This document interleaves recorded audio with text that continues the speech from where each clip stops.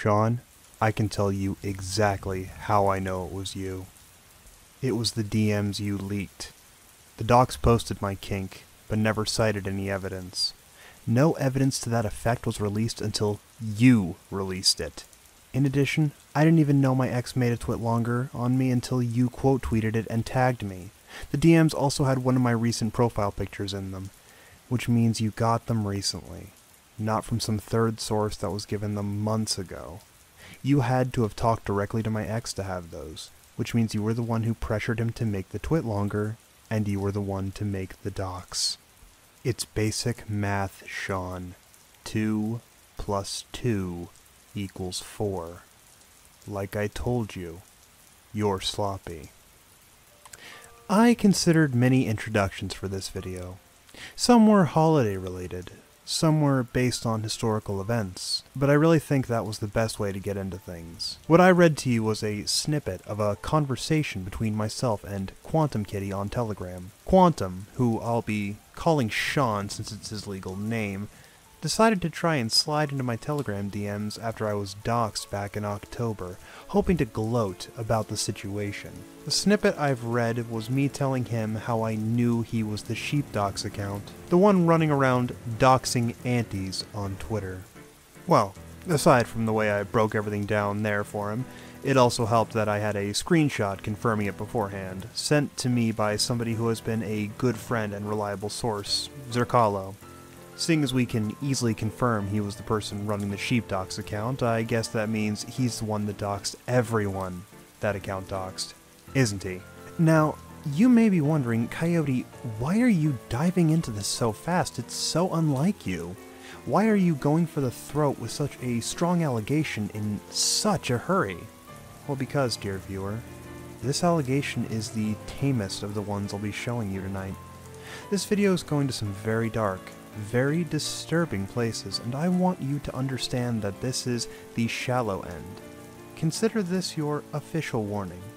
If you have a weak constitution, I suggest you click off and have yourself a very Merry Christmas. For those of you sticking around, well, don't say I didn't warn you. I'll be segmenting the rest of this video into two parts, the first being the evidence, and the second being the commentary. I want you to have the rest of the information before I give my input on Sean and my interpretation of him as a person, as well as his character. So, we'll begin with the most obvious piece of information, one that's been publicly accessible for a year and a half now the clip of him admitting to sending bestiality to a minor. Um, speaking of the Schrodinger thing, now this is just something I saw on Twitter. Um, Mm-hmm. it, I, it was referred to Schrodinger, so I suppose that must have been you. Um, it showed one of these Schrodinger accounts actually sending s Mhm. uh, porn, well, not porn, a cat or an animal of sorts being vi- uh, well, violated, having sexual intercourse or about to have sexual intercourse with a human with the tagline, How does this not look like consent? or something along those lines. Was that you? Yes, that was me, and that was um, taken terribly out of context. Um, so I'll give you the context of what the whole situation behind that was. Um, the person I sent that to was someone I was arguing with about zoophilia, and we had you know a good span of you know DMs before that. This wasn't just some person I saw on Twitter opened up the DMs and sent them fucking dog porn. Um, this was someone I was having a debate with, and of course they were making you know the argument animals can't consent, they don't want to do it, it's all rape. And I found this specific video um, where the dog uh, is very clearly and you know engaged in it, is very much playing an active part. And uh, I saw the video as very good evidence that animals do, uh, in fact, in, you know, can enjoy acts with a human. And so I sent this video as evidence, and I said, "Look at this video. This dog is clearly, you know, enjoying it. This this dog is clearly, you know, into it." Hmm. And then they just freaked out. Um, they threw a hissy fit. Ew, gross, blah blah blah. Yeah. Then they, you know, took a screen cap and they threw it out there and just said, "This guy is sending me animal porn without any contacts whatsoever." In conjunction, The minor he sent that to left a comment on the original video of that clip. I'll read that to you right now. He sent it to several minors, including me. The whole reason I created Quantum Crackhead, now Crackhead the Duck, was get back at him for sending me that disgusting shit. Of course, once that parody gained traction, he mass reported it, but since the account didn't break TOS, he did not get his way. And recently, he did something that crossed the line too far. He saved and posted a photo of me without my consent. So now, not only has he sent me bestiality, he saved a photo of me and posted it as his argument with someone else. Having gotten the obvious out of the way, we'll dig into the lesser known aspects of Sean, things he tried to keep behind closed doors, which have now found their way to me. The following DMs are from one Wintergreen Wolf, a zoophile who had strong reservations against Sean's behavior once he learned of it. Whether Wintergreen is sincere in that motive, or if he is just trying to protect his own image by selling Sean out, that's anybody's guess. However, the information seems reliable enough that I'll provide it for you now. Quantum also took a fawn's corpse, stuffed it in his fridge, and had sex with it for three days. He had Redacted try and look out for him whilst he put a fox corpse in his trunk, and fucked it. He's had consistent bloodstains left in his house from fucking deer corpses, and his one regret, according to Redacted, was a rotting raccoon corpse he fucked. He's threatened people, and wanted Redacted to have sex with Redacted's Kangol. Quantum is fucked. He's even been looked into by the feds for sending pornographic shit to kids. Sucked a 40 year old's dick for a job, too. Let's see, what else? Nearly been caught directly fence hopping at a state park with some ponies. Also, Quantum struck the guy's dog. Redacted told him, You do that again, and I'll fucking kill you. Wanted to beat her like he does his puppy. Redacted told me once his puppy wet the bed, or floor or something, and Quantum damn near threw him. Slapped him hard, apparently. Quantum apparently has no firearms discipline either. Last time Redacted and Quantum got together, Quantum was acting like Billy Badass with his AR, had a loaded mag in, none chambered, and had the flash suppressor pointed at Redacted's dog's head. He's done it multiple times. The guy is a legit abuser and beyond degenerate, to use some of Yodi's past words. Aside from that, Sean himself gave a confession to multiple heinous actions he'd done in the past. Now, this information was almost lost when Sean deleted his original Telegram account. However, Zerkalo was smart enough to save a video copy of the messages after Zerkalo had forwarded them to himself in his saved messages chat. For privacy reasons, I cannot show you the clip as it contains multiple other messages from various other parties, and I plan to respect Zerkalo's wish of me not to show all of those messages. That said, I can show you the screenshots of the messages when they were sent from Quantum in the saved folder, as well as the screenshots of the messages as they sit now, labeled as deleted users, so that you can verify for yourself that these are one and the same. A further note is that Sean references a individual who I will be labeling as redacted due to the request of Zerkalo. I was quite sadistic as a young teen, not just towards animals but people too. I used to beat the shit out of one of the family dogs because I hated her for bullying my dog. One time, I beat her severely that she just dropped to the floor and stopped moving. I thought she was dead. Turns out she was just unconscious and woke up shortly after. She was fucked up for days, and when the parents got home and noticed she was acting strange, I just blamed it on illness.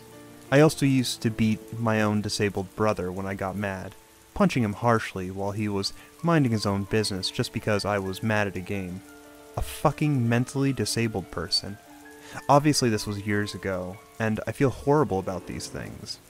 It fills me with shame and regret every time I think of it. Fortunately, I have a wonderful relationship with both of them nowadays, and I've become a better person. I know I will never do such things ever again, but will still never forgive myself. I used to fuck dead deer I found on the side of the road.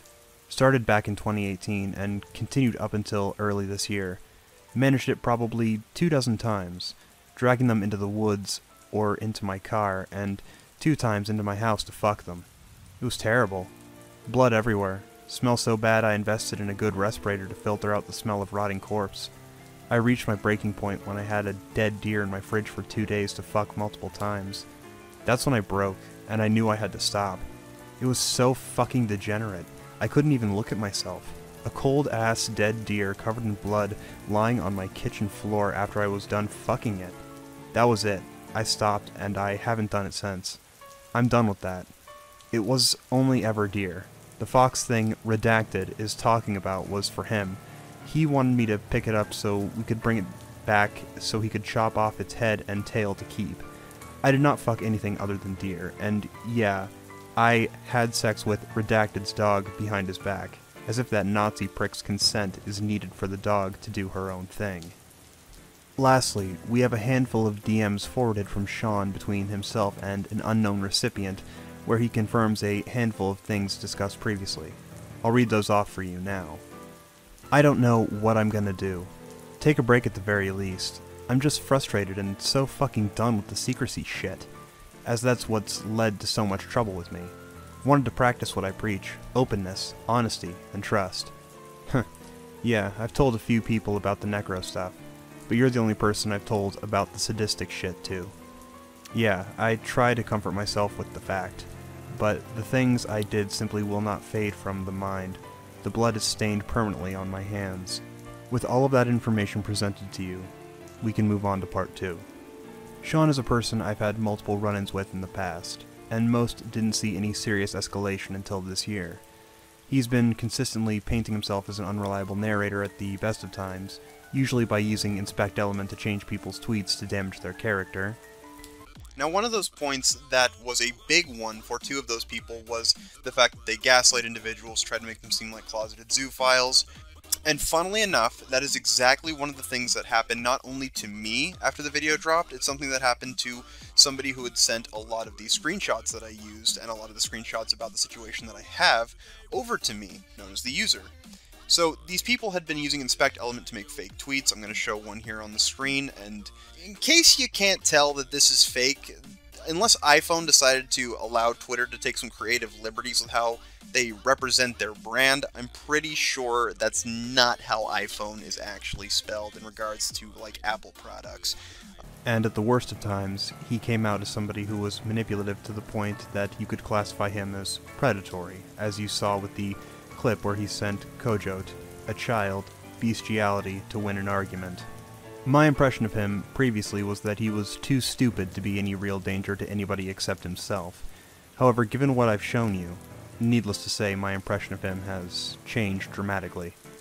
Sean is quick to target people he believes he can use to further his own ends, whether that's somebody in a vulnerable state who knows something or has something he wants, or damage the character of those around him to prop himself up and mislead those who are critical of him. He's the sort of person who will pat you on the back not to tell you what a good job you've done, but rather to find the nicest place to slip the knife once you're no longer useful to his agenda, or if he thinks he can sell you out to protect himself. Sean isn't harmless, and he certainly isn't stupid. He is, however, reckless, boastful, and arrogant. Those were the things that led to his own undoing. The fact he felt the need to tell people every facet of his personal life, even the darkest parts that most would consider left buried in the past, was a core reason he's been left abandoned by his own community. So much so that they would rather sell him out to me instead of try to help him anymore. Another aspect of his failure was his need to have his target know he was the one doing certain things. As I said in the intro, Sean was the reason I knew about the twitlonger my ex made about me. Sean was the person who leaked DMs my ex gave him. And lastly, Sean was the person who slid into my DMs on Telegram to try and boast about the situation, even if he denied direct involvement in most of it. Ultimately, Sean is a prideful man, and much to his misfortune, that pride was what led to his undoing. In conclusion, Sean Kreese is a reckless and dangerous person. He has little regard for the welfare of animals, people, children.